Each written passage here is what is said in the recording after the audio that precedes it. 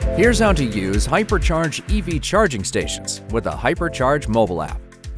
Before using the charging station, ensure you've downloaded the Hypercharge app from the App Store or Google Play Store. To get started, park your vehicle with the charge port closest to the charger. Open your vehicle's charge port. Connect an adapter if your vehicle requires one.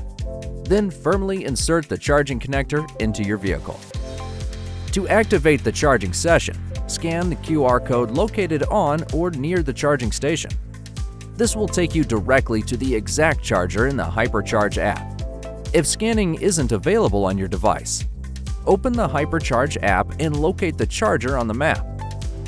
You can also search by address or by station ID.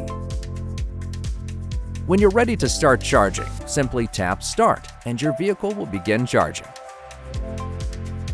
To check the charging session status, open the Hypercharge app and tap Charge at the bottom of the screen. Here you'll see the current session's duration, energy consumption, and, if applicable, estimated cost. You can also set an alert notification and see your previous charging history. When you've finished charging, simply unplug the charging connector from your vehicle while holding the adapter if your vehicle requires one. Then place the charging connector back into its holder. Your charging session is now complete and a summary of your charging session will be sent to the email address on your account.